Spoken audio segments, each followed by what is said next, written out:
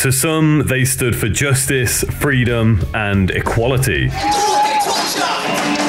To others, they are nothing more than a self righteous, hypocritical group of capitalists that sold their product to the masses under the guise of protest and socialism. They made it clear from the very beginning that they wanted to be a voice for the voiceless, to be a politically active part of society and bring change to all of the evil that plagued the world around them. However, their commitment to this cause would come under heavy scrutiny when lead singer Zack De would quit the group, leading to what many believe to be irreparable damage to their reputation. In the same year, they attempted to storm the New York Stock Exchange during the filming of their music video for the single Sleep Now in the Fire, directed by Michael Moore. The same Michael Moore behind the documentaries Bowling for Columbine, Trumpland, and Fahrenheit 9/11. They would release three albums between 1992 and the year 1999, all of which would be politically motivated, with their debut record featuring an image so controversial in nature that to even show it on YouTube, it must be censored. All of these records were released on major labels, labels that are and always have been heavily invested in capitalistic marketing tactics, which led many to question how can a group of individuals supposedly focused on bringing awareness to the evils of capitalism profit so greatly from its rewards? This and many other contentious points raised throughout their career would ironically become the very downfall of the band itself. Keep your friends close, they say. This is Know Your Enemy, the story of Rage Against the Machine. All of which are American dreams!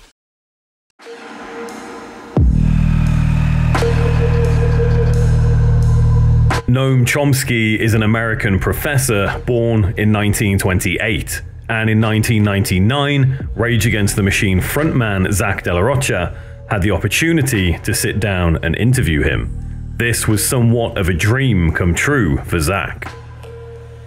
Noam Chomsky is revered as a great modern day intellect, one who is also known as the father of modern linguistics an expert in the field of analytical philosophy, cognitive science, politics, and socioeconomics. He is credited with revolutionizing the linguistics field by introducing the Chomsky hierarchy, generative grammar, and the concept of a universal grammar, which underlies all human speech and is based in the innate structure of the mind and brain. I want to make music that gives people that same sense of identity and lets them see that human rights, civil rights, and spiritual rights are all part of the same struggle we all face to take the power back. It's important to let people know not to lose that knowledge of self, to lose that knowledge of culture, but not to the point of separatism. Zack De says Noam Chomsky's books are the reason he developed a better understanding of globalization and society.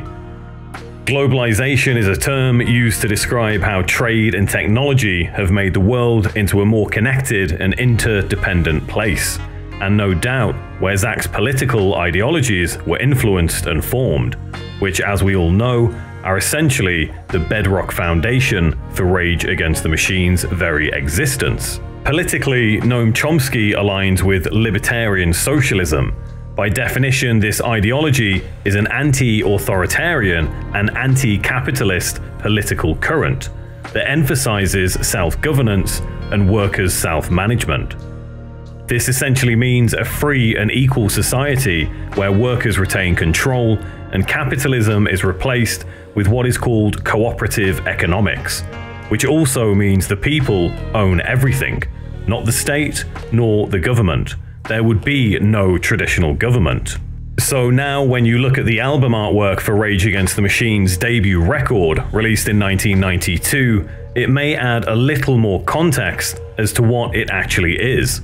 For most people, it's just a cool album cover. It's an explosion of flames and what appears to be a burning man. However, this is not artwork. This is a genuine photograph of what was once a living human being. And for the people that watched this event unfold, it was very real. The photograph was taken on the 11th of June 1963, and the image is so graphic that it can't even be shown. It seemed Rage Against the Machine wanted to make the loudest political statement they possibly could from the get go, not just with their lyrics, but also with imagery and symbolism. They wanted the world to know that it wasn't about the music, it was about the message.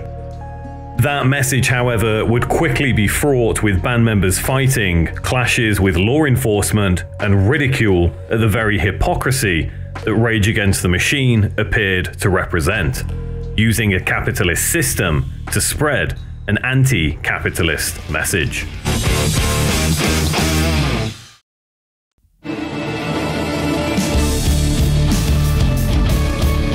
Our story continues with Tom Morello. Born Thomas Baptiste Morello, May the 30th, 1964, in New York City. An only child to a mother who was a schoolteacher and a father who became Kenya's first ambassador to the United Nations. So it's already easy to see why he developed an early interest in politics. When your father holds such a notable position within the United Nations, a diplomatic and political international organization whose stated purposes are to maintain international peace and security, then chances are you weren't eyeing up a career to be, say, a car salesman. Morello graduated from high school in 1982 and enrolled at Harvard University as a political science student.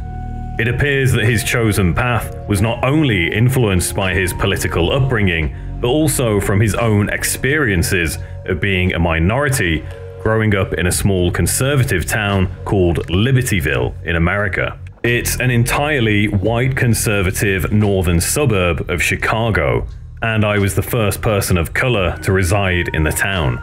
My mum and I moved there in 1965. She was applying to be a public high school teacher in communities around the northern suburbs.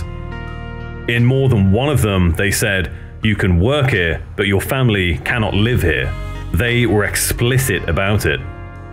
I was a one year old half Kenyan kid, and they told my mum, You're an interracial family, so you can live in the ghetto in Waukegan or go to North Chicago or somewhere like that. Morello joined his first band as a singer at age 13, a covers band before forming his own group called Electric Sheep in 1982.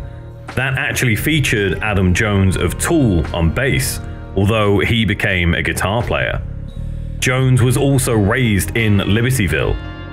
Morello's early musical influences included Kiss, Iron Maiden, Alice Cooper, and Led Zeppelin.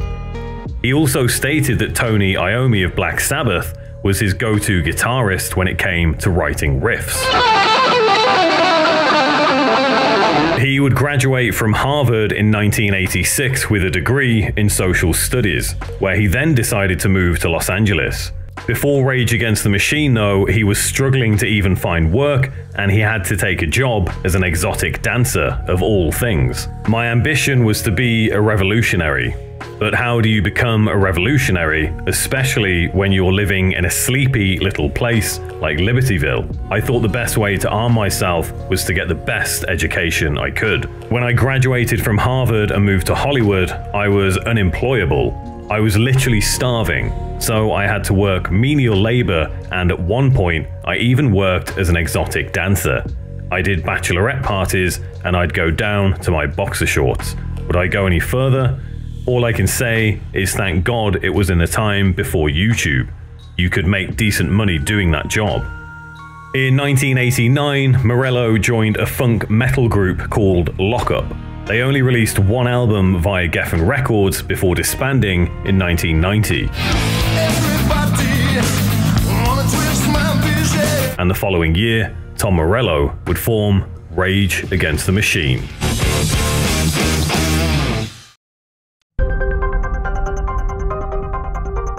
Tom Morello would write his first political song in junior high, and it was called Salvador Death Squad Blues, which was presumably about the far right paramilitary death squads that were in operation in El Salvador during the Salvadorian Civil War throughout the 1980s.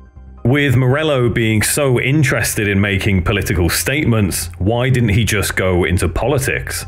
After all, he had enrolled at Harvard University as a political science student. While it turns out he actually worked in the office of United States Senator Alan Cranston for a brief time. But it didn't quite turn out to be the revolutionary career path he was hoping for. The fact that 80% of my time I spent with the senator, he was on the phone asking rich people for money. It just made me understand that the whole business was dirty. He had to compromise his entire being every day. A woman phoned up to the office and wanted to complain that there were Mexicans moving into her neighborhood. I said to her, Ma'am, you're a damn racist. And she was indignant. I thought I was representing our cause well, but I got yelled at for weeks by everyone for saying that. I thought to myself that if I'm in a job where I can't call a racist a racist, then it's not for me. Not content working for the politically corrupt, Rage Against the Machine seemed to be the perfect outlet for his political passions. Morello would soon enlist the services of Zack De La Rocha on vocals, Tim Commerford on bass, and Brad Wilk on drums.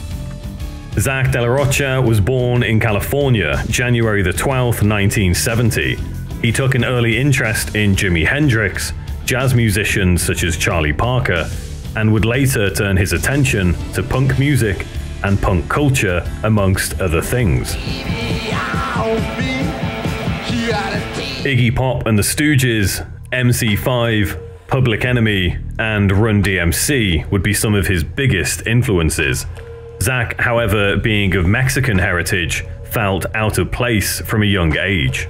There was a deep sense of frustration and alienation I experienced growing up in a very conservative community, a very racist conservative community. And I think that's what initially attracted me to punk music. I grew up breakdancing, I grew up playing punk rock music, I grew up listening to it. It spoke to me in a way that no other music up to that point could speak to me. It would appear that Zack and Tom both shared similar experiences being raised in America, so it would come as no surprise the pair would bond over this when they started jamming together. And before long, the first Rage Against the Machine political statement would hit the shelves.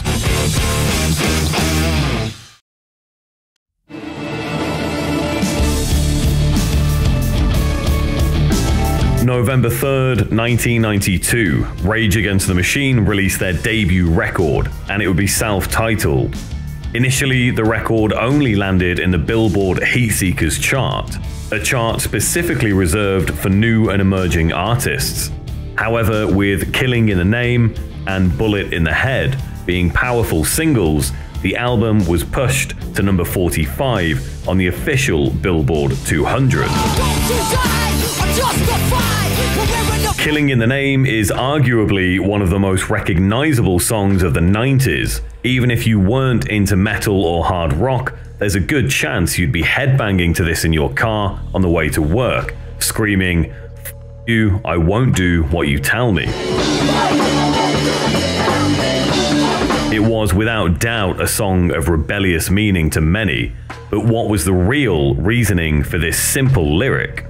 While it's a simple lyric, I think it's one of Zack's most brilliant, and to me, it relates to Frederick Douglass. Frederick Douglass said the moment he became free was not the moment that he was physically loosed from his bonds. It was the moment when Master said yes and he said no. And that's the essence of you, I won't do what you tell me. And that's why it's encouraging to hear it shouted at the Fed goons who were shooting tear gas at American citizens. So, who was Frederick Douglass? Well, he was a slave, though he managed to escape in 1838 and essentially became an activist and social reformer. He became the most important leader of the movement for African American civil rights in the 19th century. And lyrically, it was pretty clear that some of those that work forces are the same that burn crosses was an implication that people within a position of power, whether it be police authorities or government officials, were either racist or directly linked to the KKK. Probably the most infamous white supremacist group ever founded on American soil. It's also important to note that Rage released this record on the same day as the 1992 United States presidential election, whereby Democrat Bill Clinton won his campaign and became the 42nd President of the United States of America, defeating Republican George Bush, who held the position previously. Just another way Rage wanted people to know they were serious about making political statements. It's important for me as a popular artist to make clear to the governments of the United States and Mexico that despite the strategy of fear and intimidation to foreigners, despite their weapons, despite their immigration laws and military reserves, they will never be able to isolate the Zapatista communities from the people in the United States. Here, Zack is talking about his support for a far left Mexican national liberation group that he was very publicly vocal about. The group were labeled as libertarian socialists and also anarchist, which is how Rage Against the Machine saw themselves. They wanted to disrupt the systems that had been built around them. However, it seemed that even their political passions for justice weren't as strong as they hoped maybe the public would perceive them to be. They allegedly fought so violently amongst themselves that they briefly broke up, regrouping in June, shortly before the K-Rock Weenie Roast. In a recent interview with Kerrang, guitarist Tom Morello didn't mention anything about the minutes. Instead, he talked calmly about the reasons for the delay between albums, different band members have their different interests that they've been pursuing. But principally, the main reason for the delay between records was trying to find the right combination of our very diverse influences that would make a record that we were all happy with and that was great. That was a long process. Yet, in an interview several years later, Tom Morello would tell a slightly different story. There was so much squabbling over everything, and I mean everything. We would even have fistfights over whether our t-shirts would be mauve or camouflage. It was ridiculous. We were patently political, internally combustible. It was ugly for a long time. So it appeared that not only were they raging against the machine, they were raging amongst each other. For the time being, though, that wouldn't stop them from unleashing more politically powerful albums. Subsequent albums Evil Empire in 1996 and The Battle of Los Angeles in 1999 again rely heavily on political themes. The title for Evil Empire came from a speech given by Ronald Reagan when discussing what was the Soviet Union. Yet Rage Against the Machine used that phrase to imply the US could be equally labelled as such. The image of the second record was a little more ironic, considering if you look very closely at the boy's face. To us, he symbolizes the power structure in the US, and if you look at him, he's smiling as if he's in control. But if you look deeper into his face, you see that he's afraid because he knows what's coming. He knows that poor people in the US are not going to continue to suffer in the way that they are suffering without taking action, and we feel that picture captured that very well. And the Battle of Los Angeles, released in 1999, was no exception to the band yet again attacking another trait of the American system, this time the financial sector. Sleep Now in the Fire would be the second single released from the record and would almost get the band arrested. A music video for the single was to be filmed outside the New York Stock Exchange. Rage were to simply play their song, and Michael Moore would direct the video itself, but things quickly got out of hand. Several hundred people had turned up to watch Rage play. However, Michael Moore had only obtained permission for them to play on some steps in front of the Federal Hall. and as soon as the band finished playing, Moore was escorted away by police when he shouted, Take the New York Stock Exchange. According to Tom Morello, a couple of hundred people managed to storm through one set of doors before security doors came crashing down, shutting down the stock exchange for about 30 minutes. Rage Against the Machine saw this as a small victory, but to what end? Did millions of US citizens wake up to the corruption Rage wanted to expose in America? Doubtful. This stunt, however, most likely helped to keep the Battle of Los Angeles on the Billboard charts for a while longer. This record spent 51 weeks charting in total and peaked at number one, making Rage Against the Machine the biggest politically active band in America at the time. But even this wasn't enough to stop them from watching it all come crashing down.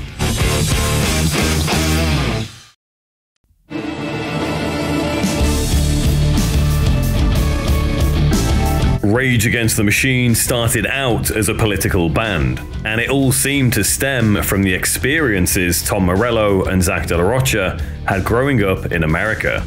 From their own words, they have essentially said that America is one of the most brutal countries to ever exist in society, and that the country was founded on racism. Oh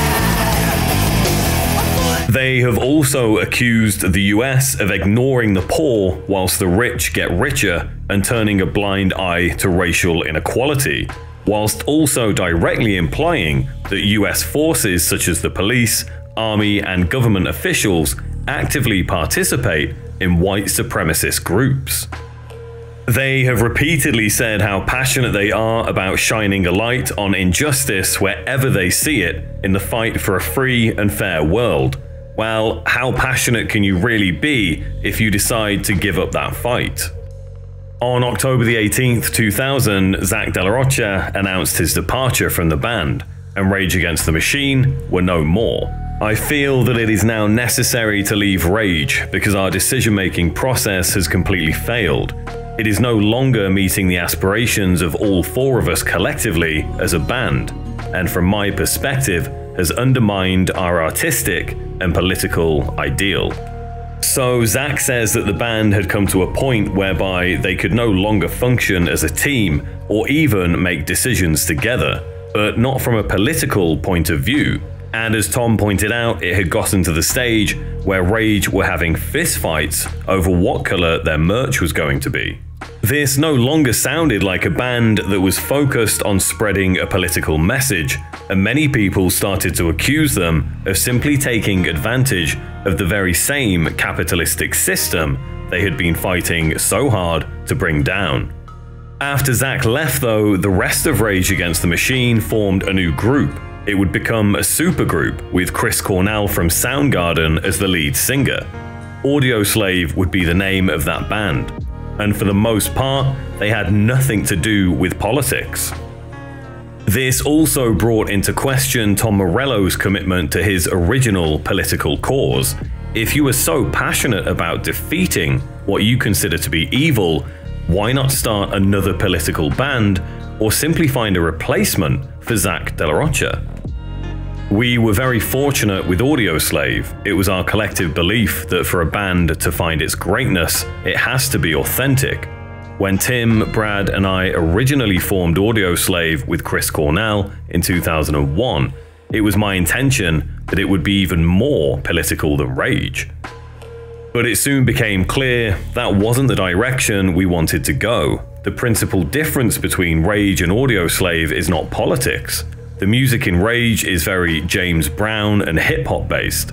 It all comes back to the one. In the entire catalogue of four Rage Against the Machine albums, there might be zero chord changes. It's relentless, but with Audioslave, to provide Chris with the harmonic interplay that would allow him to weave great melodies, we had a very different sonic palette. You know, songs like I Am the Highway, Like a Stone, or Be Yourself were chord based. That pushed us and made for three exciting records. Rage Against the Machine's final studio album, Renegades, would be released in the same year Zack left. However, this would be a covers album. It featured no original music by the band or any original lyrics, political or otherwise, from Zack De La Rocha. And to add insult to injury after the devastating events of 9 11, a program director at media company Clear Channel issued a memo to all of its radio stations with a long list of songs that he had deemed to be lyrically questionable. The list contained 165 songs, mostly listing just one song per artist. Rage Against the Machine, though, were labeled as all songs. Clear Channel later denied that it was an outright ban list and claimed it didn't even come from their head office. Regardless, this was essentially censorship. It stood against everything Rage had been fighting for. Now, though, it didn't really matter as they had already given up the fight. Rage Against the Machine have since reformed and disbanded two more times, most recently in 2024, leaving everyone to question who now will be the voice for the voiceless.